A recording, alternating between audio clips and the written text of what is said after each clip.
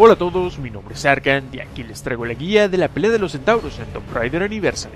Al llegar al final del nivel de la tumba de Tiogan, entraremos a una especie de templo y empezará una cinemática. Al terminar esta cinemática comenzará una secuencia de video interactivo. Los botones que necesitas presionar varían dependiendo de la consola en la que estés jugando, es por eso que te dejo aquí las diferentes combinaciones que podrás utilizar.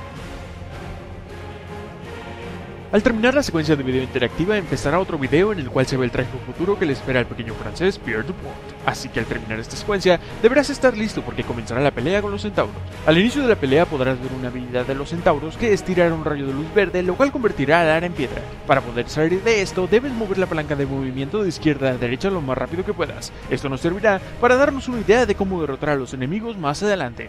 Lo primero que tenemos que hacer es llenar la barra de ira de los dos centauros. Ten en cuenta que ambos comparten la misma barra de ira. Esto significa que no necesariamente el que le esté disparando será el que active el modo de adrenalina y se abalance sobre ti. Como puedes ver en este video, lo más recomendable es que estés siempre listo para cambiar de objetivos y lograr dispararle al indicado.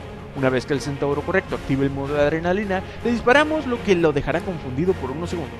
Es entonces cuando debemos aprovechar y usar nuestro gancho para quitar el escudo del brazo. Este escudo sirve como un espejo, así que para la próxima vez que los centauros nos tiren su rayo de luz verde, debemos estar cerca del escudo para levantarlo con la tecla que utilizas para jalar palancas o interactuar con las cosas, y esto regresará el ataque al enemigo seleccionado, lo que lo dejará convertido en piedra por unos cuantos segundos.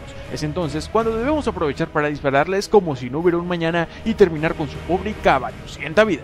En esta pelea no es necesario quitarle el escudo a los dos centauros, pero si lo prefieres puedes hacerlo. Ten cuidado de las habilidades de los enemigos que son lanzarte bolas de fuego y tirar patadas cuando están lo suficientemente cerca.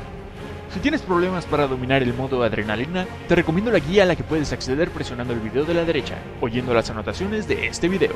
Mi nombre es Erkant, muchas gracias por haber visto el video y te veo en la siguiente guía.